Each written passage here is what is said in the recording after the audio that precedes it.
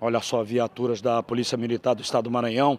Essa é a Rua das Malvas, aqui no bairro da Areinha. Aquele veículo ali, Spring, ele foi roubado, foi tomado de assalto no último, no último dia 29, lá no município de São José de Ribamar. E ele acaba de ser encontrado aqui, acaba de ser localizado. A polícia já tem uma pessoa que está detida aí, tem uma pessoa que foi, tem uma pessoa que foi detida aí para ser levada para a delegacia. Os policiais acharam aqui que que pode ser um desmanche, que provavelmente funcionava aqui nessa, nessa região. É um carro novo, né? ele ainda está com as placas originais e o proprietário foi chamado para cá, para, olha lá, GTM, equipe raio GTM do 9 Batalhão da Polícia Militar do Estado do Maranhão. São os policiais que acabaram conseguindo localizar o veículo OXU 8795 é as placas, pelo menos ele parece aparentemente que está intacto, né? Não foi de, não foi para o desmanche, ao que parece o, o proprietário está sendo aguardado aí. Né?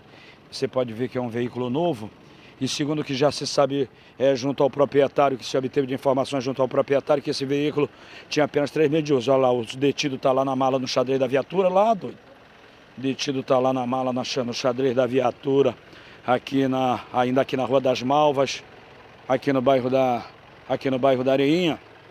Ele que deve ser conduzido, deve ser levado daqui para.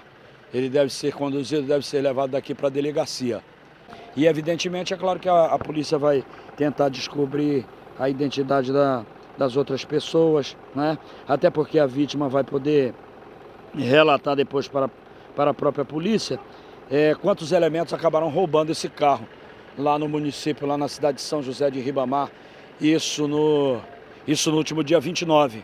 A vítima já veio aqui para o local e a vítima vai, evidentemente, ser encaminhada lá para a delegacia para fazer justamente. A vítima vai ser encaminhada lá para a delegacia para fazer o reconhecimento. Como é que aconteceu esse roubo? Eu estava em São José de Irmãos, eu trabalho com um táxi lá.